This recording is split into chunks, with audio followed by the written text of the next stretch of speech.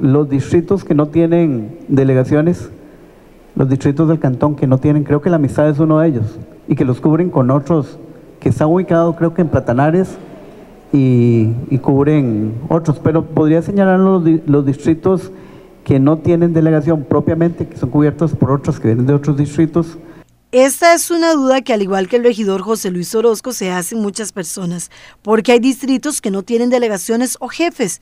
Al respecto, el jefe cantonal de la Fuerza Pública, Marvin Chávez, explicó que la institución se rige por distritos operativos avalados por Mideplan y hay varios distritos de Pérez de León que no están aprobados como tales. La playa, donde sí este, ocurren, hay ocurrencias de, de delitos, lo que pasa es también este, que es importante, que yo sé que la mayoría de las personas desconoce, es que este tema también este, eh, lleva otros, otros ingredientes más, por decirlo así.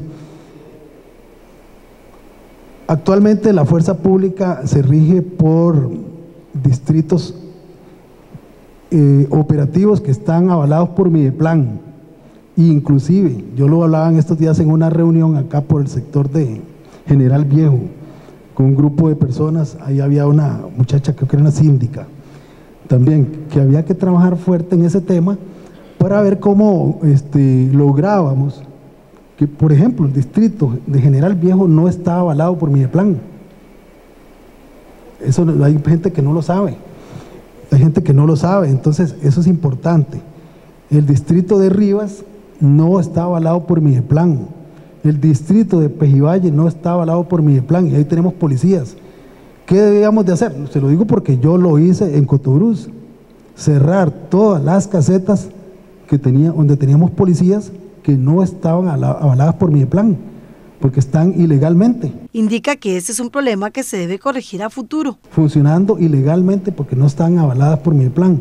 Entonces ese es un problema que, que debemos de también corregir a futuro.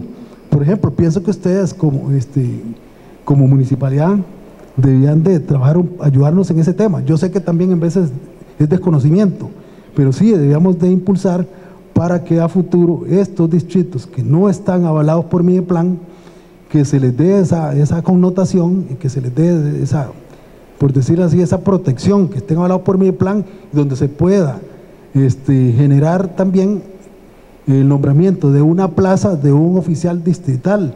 Yo le pongo, por ejemplo, Cotobruz.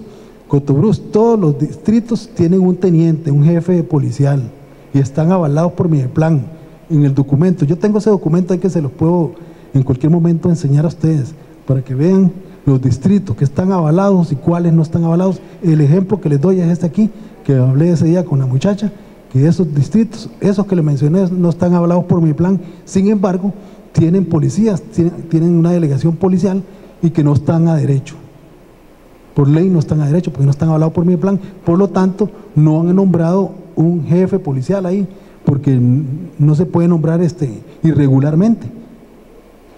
Entonces, les dejo de tarea que ustedes me ayuden a futuro ver cómo logramos que esos distritos los avalen por mi plan para que a futuro nos nombren un oficial, un jefe policial, un teniente de policía donde pues, ese teniente de policía se va a ganar un salario remunerado importante y lógico que asimismo va a tener una, una responsabilidad también grande con el pueblo, con la comunidad y con sus propios compañeros policías. Sobre este tema, el Consejo Municipal del Cantón espera el martes 2 de enero que se presente una moción para consultarle a Mideplan sobre este tema.